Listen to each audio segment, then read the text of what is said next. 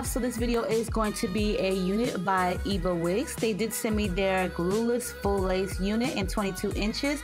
I do believe it's 150 or 180 density, but I'll post it below. You do get a comb, some bobby pins, and a stocking cap. So let's go ahead and take this unit out of the package. This is the tag, and inside it has a stretch cap, and like I said, it is a glueless full lace wig. There are three combs in the front, an adjustable strap, and no comb in the nape area, so I definitely would take that middle comb and place it right there. There are baby hairs in this unit, but we're going to get to customizing it. As you can see, it's very pretty, loose, curly type of curls. So I'm going to go ahead and put this on my mannequin head straight out the package. I'm going to use my T-pins just to hold it in place. And I do like to put a stocking cap on my mannequin head so that way it does not slip all around. And I do put three pins, one in the middle and one on each side. So I'm going to go ahead and brush this hair so that I can prepare it to do some tweezing because I did notice that the knots in this unit are a little bit swollen. They're not to my liking. The hairline is a little bit somewhat pre-plucked, but if my particular taste, I do like the knots to be less noticeable. So that is the reason why I'm going to tweeze a part in it. As you guys can see right there, they are a little bit swollen. They're kind of too close to one another, but it's all up to your preference. You can definitely go ahead and bleach it, but I'm not into bleaching the knots on my frontals or full lace wigs anymore because sometimes it just makes it look brassy. So I decided that I wanted to have a part on the left side. That's where majority of all my parts are at. So I'm going to go ahead and take my tweezers and you want to make sure that you're taking your time when doing this because it's super easy to pierce the lace on your wig, your frontal, your closure or whatever. It's super easy. So you want to take your time with this and make sure that you have a good pair of tweezers, not anything too cheap because they definitely will not tweeze. So as you guys can see, the hairline, the part is coming along pretty neatly. You don't see any more of those swollen knots and as you can see that is the hair that was removed. But I'm to go ahead and get to the front of that and just tweeze just a little bit more. This is where it's to get super fast. If you don't know how to pre-pluck your hairline then I would highly suggest that you take a look at YouTube. There are great tutorials on how to do this. So as you guys see that is what I'm doing right here. I'm just trying to thin it out a little bit because like I said those knots look a little bit swollen so I can't remember, like I said, if this was a loose curly or a loose wave, but I'll definitely post the information below for you guys. Eva Wigs does have a lot of variety with their units. So for this one here, this is how I do all my units. I do use the Garnier conditioner and I just place them on the mannequin head and sit them inside of my jacuzzi sized tub. And then I just put some conditioner on her like so and just saturate it and comb it and brush it thoroughly so that way, you know, you get them curls really popping. I really like to wear curly hair straight out the box because it really doesn't look that good. Once you wash and condition it, you will see the true texture of it and you'll see how it actually really looks. So once you have let that sit in the hair for like three to five minutes, you can go ahead and rinse it out. As you guys can see, that part is still popping through on the left side. And now I'm to take some of this dark and lovely natural curl cream. And this is just to keep the hair hydrated, moisturized, and looking good. And I'm just going to kind of like brush that thoroughly through the hair and I'm going to allow it to sit on the mannequin head and air dry. Now onto my own head. The day before this day right here was wash day.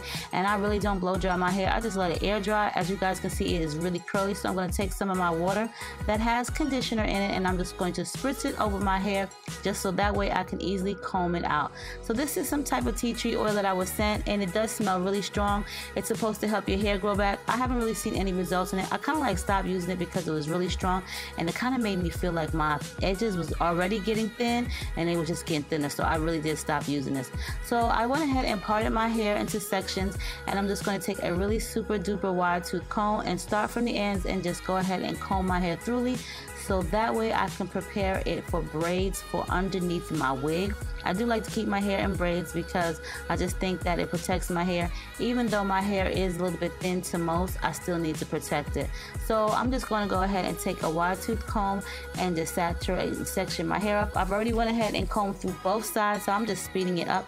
And this is how my braid pattern is a majority of the time, not all the time, but most of the time. So this braid that you see me doing right here is kind of like my anchor braid for my half wigs. Yes, I do do it for all types of hairstyles. That one braid was for the half wig, so if I decide to wear a half wig, then I already got a braid to hold my half wigs down. In the back, I do put about one or two braids and I do connect them so that way I don't have too many braids flopping around on my head. The part may not be that straight, but it's all good because hey, ain't nobody about to see that. So yes, my hair is already combed out. This is the one side that I worked on first and now it's just time for the braiding pattern. So this actually is going to be two braids in the back and the one in the middle, which is my anchor braid for my half wigs. Listen, I like to prepare my hair for all styles because I really don't like to re-unbraid. So now right here, this little piece of hair in the front by my hairline is actually my leave out that is being held by the clip. That's just my leave out for um, regular wig styles. And this braid or this hair that I'm holding on to the front right here is also my leave out just for wigs. So the braid that I'm doing right now is just an anchor braid for actual wigs, full wigs to hold on to and slip into. But like I said, if I want to do a half wig, I just unbraid that one braid that I just put in and I'm good to go. Now to get those baby hairs popping, I'm just going to use some of this Gorilla Snot Gel, which I love to death because it doesn't flake up. And one of my favorite toothbrushes, and I'm just going to slick my edges down. Okay? Sometimes I'll change it up and I do it differently, but you know, today was, hey, it was today. So that's how the back of my hair pattern looks. The wig is all dry, you know I'm saying? Like I said, this was the very next day after I washed the wig. So I'm going to go ahead and cut the lace off of it. And I'm going to use some of my matte press powder just to make the lace inside look more like scalpage. You know what I'm saying? It is a glueless full lace wig. So I honestly prefer glueless full lace wigs versus 360s or lace fronts because listen, with a glueless full lace wig, you can do a whole lot more. So if you want to part it down the middle and have two braids or buns or whatever you want on the sides, you can definitely do that. So I went ahead and touched up some of my baby hairs a little bit and I'm going to situate this wig. Let me tell you something. As much as I love Eva wigs, I wasn't too fond of this particular wig right here. For some reason, the lace just did not seem like it wanted to sit flush to my head, so I had to go ahead and braid it, as you guys can see. And that is what I'm doing right here. I had to braid it down because it just was not sitting properly. Maybe if I would have put an elastic band in it, it would have sat really, really tight to my head. But I was not in the mood for doing all of that, and I just really didn't feel like the need to. I don't feel like you should have to put an elastic band for every wig that you purchase. I just think that it should have sat flatter. So to me, me there was something the sizing was a little bit off for this actual unit and that's just my deepest deepest opinion. I really honestly feel like there was a little bit of sizing off. So i went ahead and placed a braid on the side and it did come out really natural. I'm so used to doing these with mostly all of my wigs. It doesn't even have to be a full lace glueless lace front whatever. I can do this with just about any and it just gives me the options of making it look more natural. So if you wanted to wear it up like this like in a like kind of like a patchy braid you can definitely do that.